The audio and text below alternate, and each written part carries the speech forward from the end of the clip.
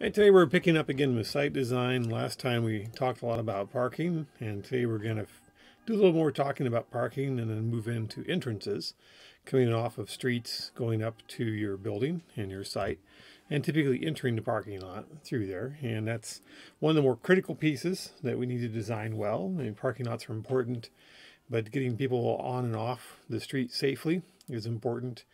And a lot of jurisdictions you're going to work with, the state, in cities and counties, they look very closely at your your parking lot entrances and exits and make sure that you've done them well. And they often have standards they want you to follow and or um, things they will or won't approve uh, when they see your your plans. And so it's something to keep in mind as we get into this more. So our objective today is again talk about parking uh, space size requirements and layouts and different uh, site entrances that we can look at uh, from there too. I guess to get started with this, I normally ask this in class. Um, how many of you used Uber, Lyft, or Didi, you know, in the last year? i Guessing probably a fair number of you. Uh, it's fairly common, uh, right, to to use these services. Maybe not so much in Valparaiso. Maybe well, maybe a little bit in there. But when I go to Chicago, I almost always get a Lyft car now um, in there if I need something. Uh, get, you know, train brings you into the Millennium Station. If I'm headed off to the hotel, then after that, we'll usually get a Lyft car. And if we have luggage, if it's just me, I'll just walk uh, through there. Or if we're going to go somewhere, we were up there at Christmas, so we went to see the lights up at uh, Lincoln Park Zoo. So we took a lift up there and then back and then downtown through there. I didn't want to walk that far. So uh, being an out of towner and being in a city I'm, I'm not familiar with, I'll often use one of these services when I lived in China for the summer I use Didi all the time uh, to get around uh, and go places uh, through that. Uh, when I visit DC and so forth for conferences, uh, I'll take Lyft there as well for that. So I think that's a fairly common standard. Some people use it every day. Some people actually are using it for commuting now, right? That's a little different. And I guess that's the next question is why why are we using it? What's what was the purpose of your trips? Why did you use those services? So this was a, a news item that came up uh, last year in the spring about Uber and Lyft and how they're affecting parking demand and ties right into what we're talking about today, right? We're talking about how many spaces you need in your parking lot, which cities regulate. Cities will require you to have so many parking spaces available uh, because in when cars really took off in the US after World War II, when they had all the manufacturing capacity, the you know, think about what the U.S. looked like just after World War II. It was still very traditional, uh, traditional looking downtowns and streets. It's like downtown Valparaiso, right? And and even more traditional than it was then. It was probably busier. It had more buildings and so forth, but not many people had cars. And so in those days, you there wasn't that much parking available. And as cars took off in the 50s and into the 60s, there was just a mass uh, problem in these these urban environments where there wasn't enough parking. And in kind of reflexively, I guess, uh, the agencies jumped in and demanded that you have enough parking so that people could easily drive and that there isn't a shortage of parking and people aren't parked illegally and there isn't a crunch. And people who own stores liked it because now you know, their customers can get to them because they're all driving now coming in. Used to be we had streetcars and buses and, and services like that. Even in smaller towns like Valpo, we would have uh, in the 30s, 20s, and 30s, we had a pretty good public transit system because what people relied on then. And that all kind of went away once the individual driver uh, model uh, took over. Now maybe it's coming back, so that's the that's what we look at a lot, especially in urban, more denser urban environments.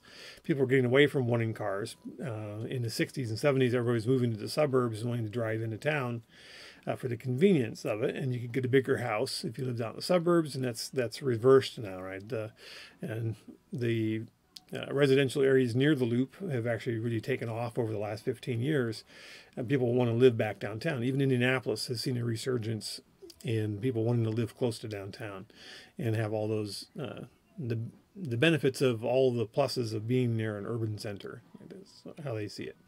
So that's that's changed a lot. And so th- these people did a, a, study on how Uber and Lyft are, are affecting this need for parking. And so just think about it, you know, the reason we have those rules we talked about last time about how much parking you need near for your business based on square footage is really uh, kind of reflective action from the, these cities about well we don't want you to run out of parking because then it becomes our problem. People are, are out on the street and there's just mass chaos and and so forth. And that's why they have all these these rules like we did in that last ICA about how many parking spaces you need uh, for each one.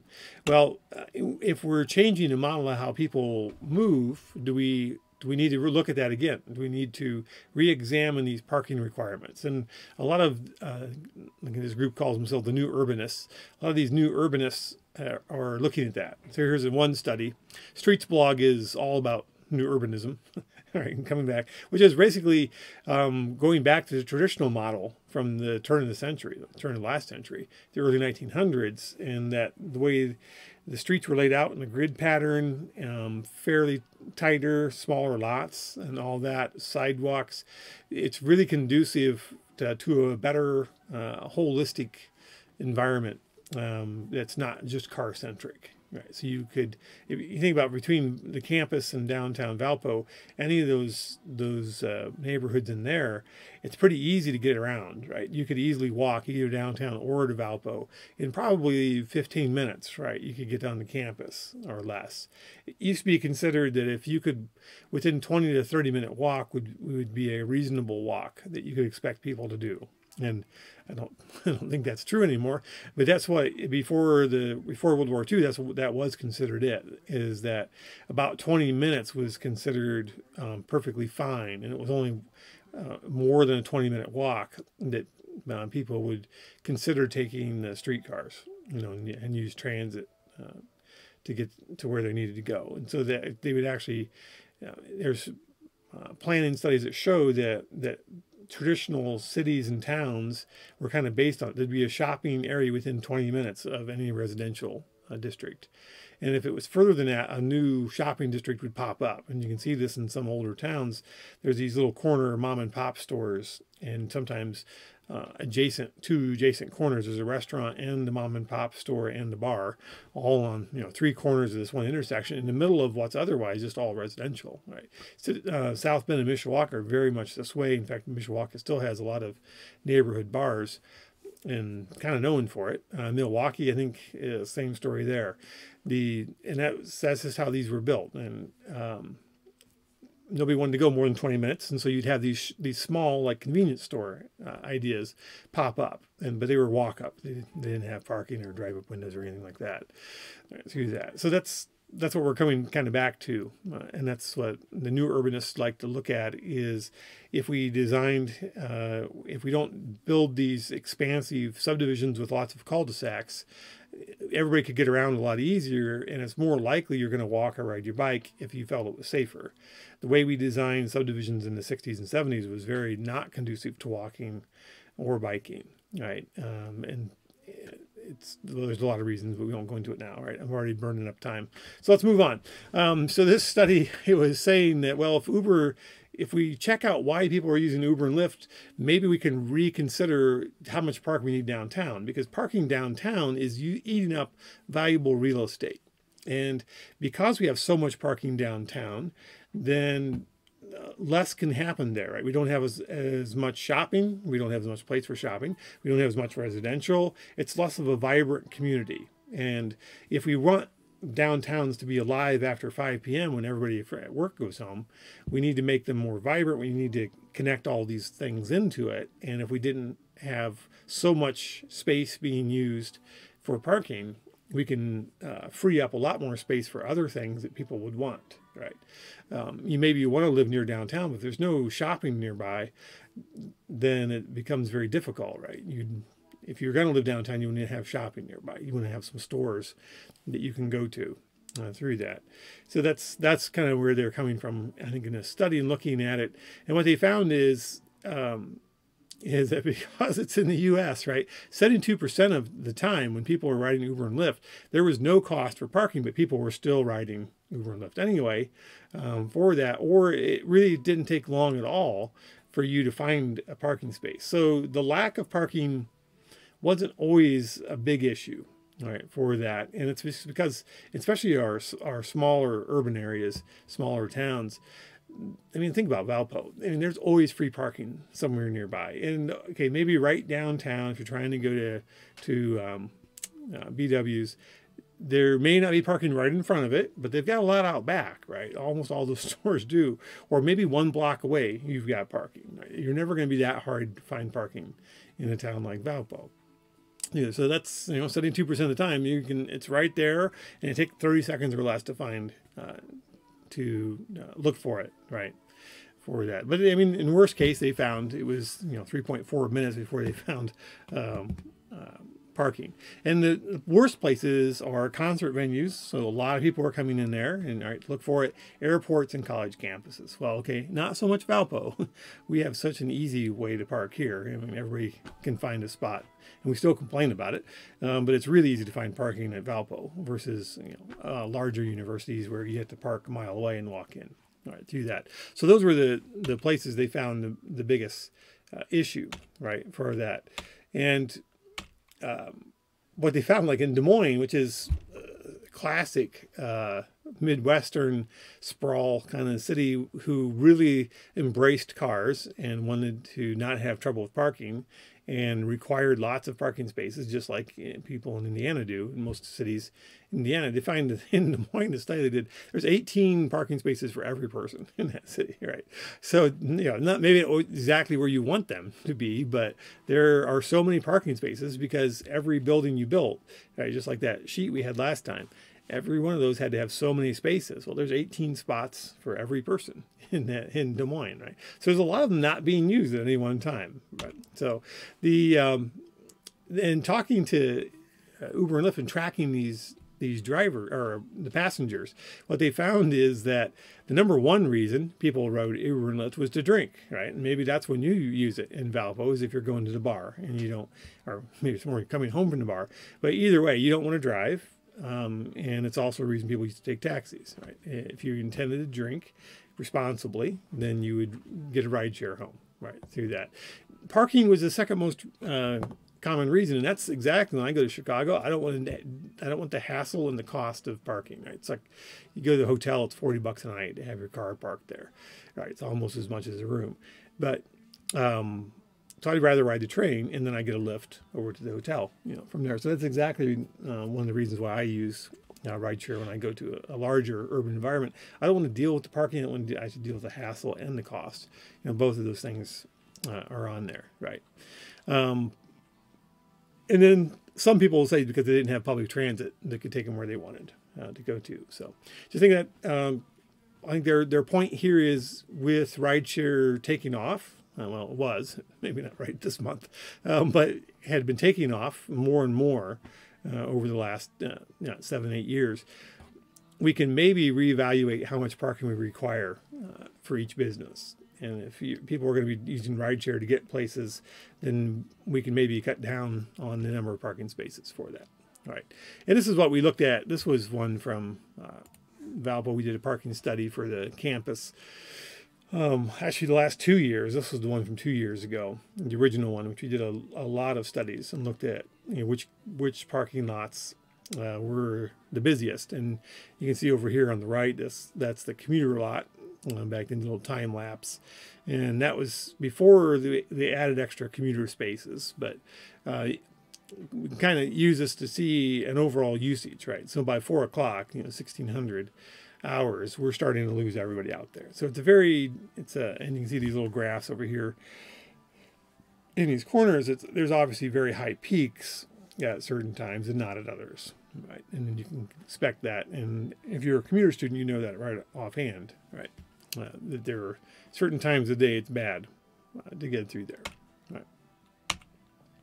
This is what we looked at last time is how to lay out uh, parking lots. And this is a guideline, uh, guidelines for making sure you've got enough width in between your stalls, how, how wide the stalls should be, what the angle uh, can be, and how that relates to the width in the aisle and the, the total bay width as you go through that. And whether you want angled or straight in and one way or two way parking. Those are all options, and we went through those last time. We also talked about when you're laying out these parking bays, coming up to the end, we don't like to let people park right at the end. We like to uh, either landscape those or cross hatch them off with striping to not allow parking so that you can see and you can uh, pull out into the circulating uh, lanes here easily on either side. And so that's kind of where we left off last time. Last time, I just wanted to pick up from there. Right? So that's the primer for where we were. Where we're going today is is the entrance coming in off of the public street into your parking lot and into your site. I guess it's not always directly into a parking lot, but into your site. Uh, how do we design that entrance? And the things we want to remember are how can we get smooth flow? And that's very important. And we like smooth flow for a lot of reasons. One, it's safer, and um, two, it um, it reduces the frustration of any patron, right? And most of these sites, it's probably commercial, and you don't want people to not come to your place because it's so hard to get to or get in or out of, right? If people feel that way, they're like, "Well, I'm going to avoid that until the last, you know, unless there's no place else to go, then uh, then I'll go there." And you can probably think of a few stores and and places where the road is so bad, so busy with traffic, it's so hard to get in or out of that you would avoid a place, uh, and maybe you would go there more often if it was easier to get to. So smooth flow is is good for that. It's also um, you want drivers to uh, understand what's going on quickly and make it easy for them, which improves flow and improves safety. All right, and then the, a big thing, which is what all the jurisdictions who give you permission to have a driveway and an entrance into your parking lot are going to look at is they don't want you to impact the public street. And so people shouldn't be slowing down excessively out in the public street or particularly backing up, waiting to turn in and impacting the through movement of, of traffic. That'll get you in big trouble fast with the city, right? If the if people are waiting out on the street to turn in and everybody else has to wait behind them, uh, if it happens a lot, they're going to be talking to you about how to improve that. Right, and so that's a big issue with a lot of cities, and it's they're probably their number one factor when it comes to uh, approving new uh, new entrances, new driveways. Right, so this is a public street out here. We say a major arterial, it's signalized, and here is kind of an older style, I would say. You know, parking lot, it just minimal entrance, and then it just dumps everybody out, and it's like a free for all in here. And this is how they used to do these in some of these bigger shopping centers before they, uh, well, what taught us all to do it better was the failures. so we had enough failures in these kinds of intersections, these kinds of entrances, um, that people got better at it. And so this is not a good, a good one, right? So you've got very little storage length here. You got one car that can wait, right? That's an important thing to remember. You can only uh, we want to have more stacking, more storage for vehicles in here than just one vehicle, right? And if someone else tried to wait here, now you're cutting off circulating flow, right? That's terrible, right? People coming in, it's not well delineated. Um, this is all a big, wide open area. Is that one lane? Is that two lanes? That confusion is going to hurt your flow and can lead to more accidents, right? And we talked about channelization a couple weeks ago.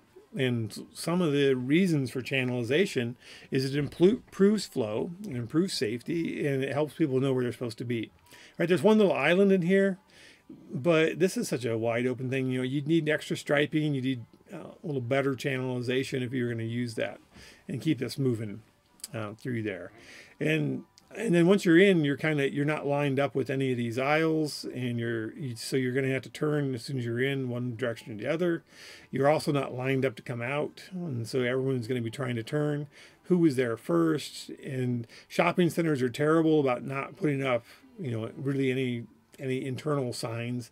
You know, do you stop here, and do the people coming in have free flow, or is it like a four way stop here? You know, what is it? Uh, so these are all. Uh, issues that you should think about when you're looking at it, right? This is not a good design, and you can see right off why. Well, yeah, it's probably not a good design. And we're going to show some pictures here and, and look at better things, you know, as we're going through it. Right, this is a, a very new development. This is 10 years old or so. This is out there at the Meijer. The Meijer has been built now. They held off um, this is State Road 2, just east of 49. 49's right over here, and Valpo's there, right? And the theaters are back here, and Meijer gas station's here now, and then the Meijer store is right up there. Here's Dick's Sporting Goods. Right? So This one, you may not have thought of it before, but you know, okay, it's a pretty boulevard style entrance, which means he's got trees and a median down the center. It's got two lanes of entry because there's two left turn lanes. So both of those left turn lanes can move at the same time. So we have some channelization, great. Coming out, we also have channelization and we have a left, a through, and a right turn lane. So we've got all the lanes we need. It should be fairly clear which direction you're going, which lane you need to be in. Awesome.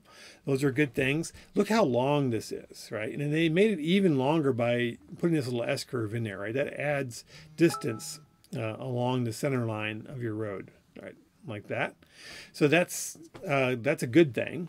And uh, instead of this stubby little entrance here like this, right, which is not good at all, um, in a nice long one like that, you've got tons of storage space because up here is a four-way stop. Well, uh, what happens is if this gets backed up right here, this entrance, it backs up out onto the street really bad. And that will cause uh, very dangerous accidents because people coming down here may not realize these people are stopped and run into the back of them. So it's a it's a traffic flow problem. It's a safety. It's a big safety problem, and that's that. Like I say, really will get the city mad at you if you're backing cars up out onto their street. Meijer did, and probably because the city made them, um, have this really nice long entrance road. Okay, there's one entrance here into Dick's, but only an exit. You can't turn left back out of Dick's, so this median is cutting off anybody turning left out of here, which really improves this flow coming through here and keeps people from trying to cross and then not being able to them blocking traffic right? With this much length um, you can move a lot of cars out of here and into this entrance road and stop up here right? Um, it's probably never going to spill back out onto state road 2 not unless this thing really really gets a lot busier than i've ever seen it right? Maybe you're spilling back about this far but you should never be back State Road 2. That is a lot of storage length, two lanes wide, right? Remember. So this is a really good design, and that's um, it's enforced by these cities to, and this was a state highway, but this is inside the city jurisdiction. So between the two of them, they probably really forced this on the developer. That's expensive, right? To force on this developer that there is very little chance you're ever going to back cars up out into this uh, on the state road 2, which is what exactly what nobody wants right through that. So this is an example of a pretty good design. Through that, the center median right here, that that's a, a divisional uh, island, right, for our channelization, and that's keeping anybody from turning left coming out of Dick's here. You have to go out this road, which is fine. Okay, if you cause a traffic problem back here, the city don't care right? If you cause a traffic problem over here, the city and the state care, and they are coming after you as a developer, and you will not get peace until you fix it. Um, through that. Here's an example. This is Walmart in Goshen, and I used to go by this one. That's why I'm using this example because I'm um, I'm familiar enough with it to know it had problems, right? So here's here's their entrance road, right? And here's their parking lot, and they added some more parking here, and you can see, and it's this is a really busy Walmart. It doesn't look like it in this picture. I don't know what day they flew over, but it must have been early in the morning on a weekend, maybe. I don't know. Um, anytime I drove by there in the evenings, you know, this this parking lot is packed out here, and it looked a they've got a nice, you know, decently long uh, storage area, right? Throat back in here. You can see how that goes. And then it ties into the rest of the parking lot. And you can almost see where, where these tire marks are, where it's darker. You can see how people are flowing around from this outside edge, this perimeter, and coming back through there. All right, here's that turning radius. So people are using this as the circulatory road out here. What they kind of have to because it doesn't cut through the parking lot there. And these are one way, one directional parking bays. So they were trying to squeeze in even more parking spaces as they could through here. Well, I can tell you from exam um, from experience, and this comes in this this goes straight up to the front doors of Walmart. Right, this thing gets a mess uh, through there, and this will back up. This is a stoplight. This is a really busy road. There's probably not enough green time because there's just not enough. It's over capacity at this intersection. This thing will back up easily in, in the afternoons and I've been here trying to get out, and there's cars like two deep over here and three or four deep over here, and then you don't know who has the the next right of way. Then the light turns green, then everyone tries to jump in that line real fast to get out uh, for there because uh, if you're turning left, it's really the only chance you've got uh, to get out of this place. And it's it's just a mess. And you would think, okay, well that's enough. I mean, that's decent. I mean, how many cars do you think you can park in there? Probably 10, 10 or 12. It's not enough, right? Look at this thing, right? 10 or 12 cars would put you back about here, right? They've got way more on that. And that's good because this one didn't work. This one does not work at all, right? Um, this really backs up and is a mess. So even though it looks like, okay, they tried, uh, it's just not enough. The the peak demand in this place is just way outstrips that, right? So that's that's another example. This is the not good example, right? Here's one back for you over here in Valpo. This is over the Applebee's on US 30. Right, look at this. You know, we got maybe one or two cars we can get in here, but you're immediately right into this this uh, circulatory uh, road piece, right? And then you've got people coming in from here, and then maybe someone's coming out here, and they're going to try to turn back left immediately, and then people are coming here, right? That's back to that original example. That looks like this one. That is straight up what this is, right? And it's a mess, and it's bad. And the only thing that saves this one probably is because um, these two, I guess there's three businesses, maybe they don't have that much traffic all at once you better hope they don't, right? I don't know. A jewelry store, I can't imagine there's a lot of peak traffic coming out of there. Applebee's, yeah, could be, could be, especially around lunchtime or something. Um, I haven't been to this during lunch. My guess is it can get up to be a problem right through there.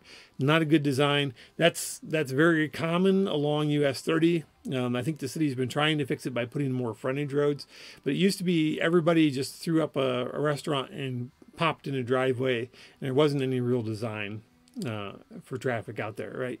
It, back in the 60s and 70s when 30 was getting built. You know, oh, it's a great new new road. I'm going to put my restaurant out here, and then I'm going to screw up all the traffic.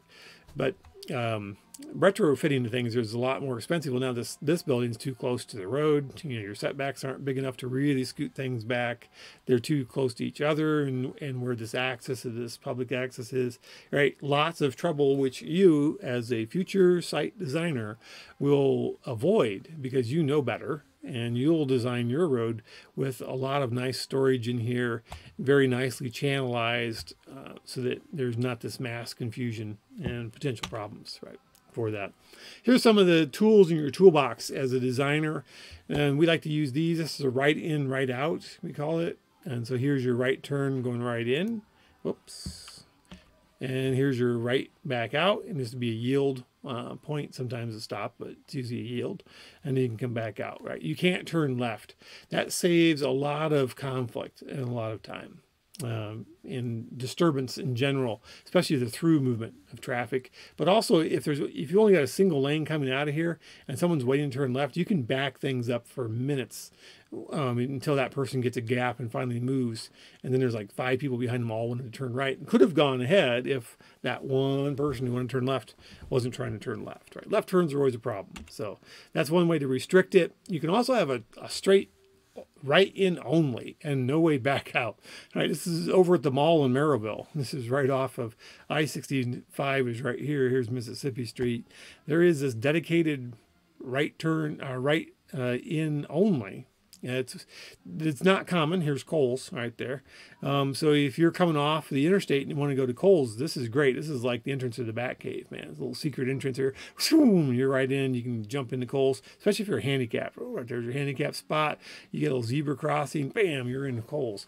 Um, I don't see these very often. This is a, a an odd uh, location. Quite often, as a former government worker, we would allow an agent or a, a, developer to do this if they used to have a full driveway access. And once it's granted, it's really hard to remo- give that or take that back from people. But you can twist their arm really hard to convert it into a right in, right out, or in this case, a right in only. Could have been that's what this this was. That before things got uh, really busy over in Merrillville and it became such a shopping center area that they might have had just a normal driveway that went with this lot, with this parcel. And over time, when this got all built up and the mall's right behind Kohl's here, um, that you know this is a terrible place to, to try to come out here and turn left because in a normal day, again, this must be like Sunday morning. Oh, well, this is this is one direction only out here, right? There's no way you can turn back left out of here, but people would try. if you let them, they will try, right? So if you you can come in this way, there's an exit over here on the Mississippi, or you can go out at one of the stoplights over here on US 30. So that's a right-in only. Um, they work really well. Um, the nice thing about it is unlikely to back up because you've got a single direction of cars coming in. And uh, all of most of their deceleration, this is a turn lane anyway, most of their deceleration is out of the through lanes. So this is a pretty good thing. That's not going to affect this traffic, this through traffic much at all. So nice, nice, uh, nice option for there. Right. This is a, a left and right in, right out only. And these are odder. I've seen these in, in person. Um, not so much in Indiana, but yeah, you have to have more median space out here and you need some channelization to keep people, otherwise people really will. If you just stripe this, everyone's going to turn left out of here. You can't stop them. It just, uh, don't even try. Um, so you're going to have to have curb and gutter out here and channelization. So islands, right? And another great use of our islands, right? So you can turn right, you can slow down, turn right and pull in here. You can turn left, but you can't make this exiting left. That's what we're restricting. And that is a good thing to restrict. Those, again, that left turn coming out of a driveway, you're crossing one lane of traffic and entering another one. Quite often there's multiple lanes here. That is not good, right? That is, it's unsafe, especially in a busy commercial area. There's too much to try to watch all at once. Someone's waiting over here to turn left. You're still, you're going to try to come out of here and turn left. Uh, not good. All right, so that's a good reason to restrict that. And here's a here's a good example. The Mishawaka's got uh, right along Main Street. They've got like three or four of these in a row. And so Mishawaka were big believers in this. Again, they learned um, from the mistakes of the past. That's how we learn most things, right? The, they just used to have left turns allowed out of here, and it was a nightmare and, and lots of wrecks. And, and, this is all backed up. All right, so this is the Culver's and got good ice cream there, of course. Um, it's got this this left uh, left in, right in, and right out. Right? You can't turn left back out of here. You can come out here to this service road and come out here and come back up, and that is the best way to go. And it's really nice to have this this exit road because now you can turn right, come up to the light. Now it's safe to turn whichever direction you want from here. So if you were going to head back south, yeah, you're right. You're right on it. You can see here if you're going southbound on Main and you want to turn left, there's your left lane, and you can come in here. Here's Culver's. And if you're trying to turn out. Nope, can't do it. This is all curved. There's nice, pretty landscaping. Mishawaka did a nice job of all this landscaping here. Uh, this is kind of the uh, ritzy section of shopping in that area through their regional shopping area. But you can turn back right out of here. There's also a little frontage road here. It goes, I think there's a Gyro place and a Gordon's food store over here. So, you know, there's Darby's. Um, so you've got all these options, you know, along there. So that's, that's a, an interesting one. Uh, like that's not used very often, but it does work really well. That left turn out of here, you're crossing two lanes northbound plus merging with two lanes southbound. Really dangerous maneuver to do. This road gets really busy. It's often back to here. You know, you've got cars backed up. Um, and so any of these driveways in here is going to be very problematic trying to get out uh, through that. And then the, the other one, I may have used this example before. This is the University Park Mall, again in Mishawaka. This is just north of, and a little bit to the west of what we were just looking at. University of uh, Notre Dame is over here. Um, and this is University Park Mall, which is just a big mall, which, like most malls these days, isn't doing as well as it used to do. But this was the hot place to be. Still kind of is, not as much as it was, but it's still, uh, I guess, Amazon's the hot place to be now for shopping. Um, but the mall is still really busy, and especially around Christmas, as you can imagine, and weekends. For that, here's their main entrance. Their main entrance comes off University Drive at Grape and comes in here. And this has been redesigned. I think this is on its third iteration. They built the mall in the 70s. Um, so what 45 years later i think they've redone that entrance road. Well the original design and like twice since then they've redesigned it. The last time was 15 years ago more or less like that. So here's their here's their redesign uh, thanks google earth. Here's their entrance road. This is their exit. Here's their entrance road coming in right? They they s curved it. They tried to S curve it to gain storage space. And they come in here, and then we got a three-way stop. And here's the exit, and here's a crosswalk right in the middle of that. And no one uses this sidewalk. It's walking along here. Um, and then over here is another raised sidewalk. This is going into the food court area, kind of. And there's a bookstore right there. Um, a lot of people park as soon as they can. Let me back up one, which is going to be right in here. Right, all right, here's the food court. But right in here is this is the Barnes and Noble, which is a popular entrance, and in straight into the heart of the mall. A lot of people like to park right there, and then they're going to cut across right on these crosswalks. It really backs up traffic, and I've seen it backed up people waiting on people, pedestrians, backed up in this intersection, and it's a mess, right? And like uh, some shopping areas, the inbound doesn't have a stop sign, and it, it's free flow, and then only this two side roads have stops. It um, at the mall, it's a three-way stop. So on the inbound, you have to stop if you're going to turn left. These people have equal priority as, as the inbound, and so do these, and it's a mess. And this this thing will back up um, every cycle, every signal cycle, it backs up out into the intersection on those busy shopping days, right? It is nowhere near adequate. I mean, look at all the parking. yeah, there's more entrances, right? And if you're, you know, if you're smart, you don't go in this entrance because you know it's it's a disaster, right? You you buzz through here northbound and come in this one. Um, although this is J.C. Penney, and I think they're going out of business, right? So, but uh, this is a disaster. This one, this entrance is a disaster. The city hates it. They didn't. The city's mad at them because they didn't get consulted much when they redesigned it the last time. Um, so it, it, goes on. Here's a little video. Uh, the link in your notes is is going to work better than uh, than this link I've got here. I'll just bring this little sucker over here. It's going to look jittery on this screen, but we're going to give it a shot. Let's see if my internet's fast enough to even show it. Maybe not. So I took a video. Yeah, here it is. So here's that mall out here. It's going to look jittery on your screen. Again, you can follow the link in the notes and see a much smoother video of it. Where here's that intersection. This is Grape Road out here. And we were doing a traffic study out here. So we've got, uh, these are the markers for what the traffic signal is doing. I may have showed you this in 252. Right, here's this S-curve road. You can see back here. See where these cars are going. Okay, it looks great, right? Those westbound University Drive just opened up Everybody's flowing in there, right? Look, this is the northbound.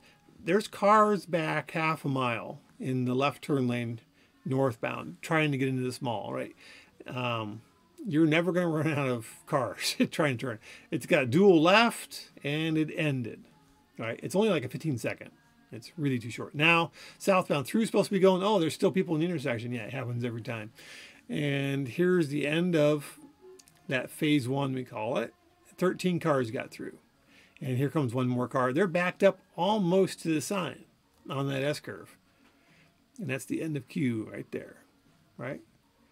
These guys are going to buzz along. I'm going to speed this up a little bit.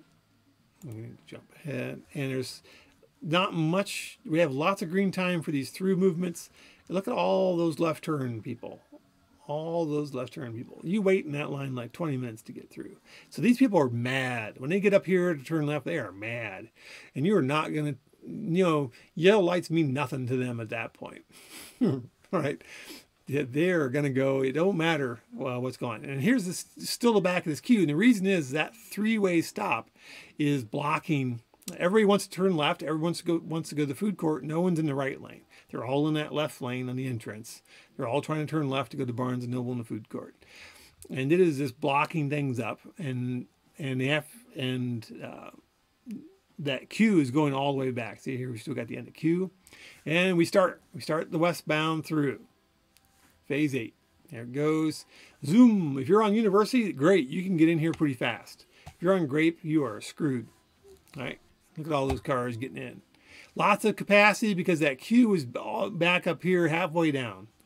And so you got two lanes wide, although most people are in the left lane. Right, we got 11 vehicles puked in there. All right after that gets choked up with those cars going straight westbound. Now we get the northbound left. And bam, look, they're stopped, they're stopped, they're stopped. Here comes the back of the queue. The back of the queue is right there. Green light, can't get through. All right, 13 cars tried going, 10 of them were legal. before the light turned. Uh, still blocking that lane. Oh, now he's finally moving because someone finally went in the right lane. They don't want to be in the right lane. They want to be in the left lane. Look, that's those guys aren't giving up. He's staying in that left lane. Screw you guys. I'm going to go to the food court. All right. Um, so that's uh, this is right before Christmas a few years ago. It's like that still. Uh, every Saturday afternoon, it's still like this. This thing is backed up. It is just a mess. All right, for that. All right, let's um, let's cancel that guy. Get him out of the way. All right, so that's you know they're backed up consistently back up into here, right on that, and each time. And I don't know, but mall probably be mad if they found out I was playing this video all the time. But I still like this video. I still like it a lot It still works for me, right? For that, so that's this that's this poor design. If this was a free flowing uh, entrance and they didn't have to wait for these people, it would be better. Having all those pedestrian crossings right in here is still bad. It'd be even better if you brought this traffic around and went around the outside of the of the parking area, and then if you wanted to park, you come up here and get rid of the circulatory road up next to the mall. Now that's kind of controversial. People have been trying it. Uh, newer designs have been trying to get rid of that uh, for one thing, it's dangerous, right? Because you have to, everyone who parks has to walk across the road to get into the mall. Um, and so that sometimes they've, uh, different people have tried to restrict that. And the idea is you want uh, the pedestrians near the building. You don't want circulatory, circulating vehicles near it. So you bring them to the outside. There's a beautiful road out here. All right, you can come up and you could go through the parking lot just fine but just don't have this be the main circulatory road right in front of the of the mall. And you'd probably have to put islands across every now and then to make people come back around and so forth. Which there, you know, people trying to look for parking are gonna be mad about it. Okay, but this this road runs all the way around the mall, so just follow that whole thing around. So that's um that's parking, that's entrances, that's flow in the parking lot area. So think about that. Next time you go shopping, should we ever get out of our house again, and you get to go to a store look at the look at the how it's set up in the parking. And uh, currently, except at grocery stores, I think, and occasional drive-through lines, there is no real traffic problem at any of these right now. The small is probably having no trouble at all at the moment uh, with traffic.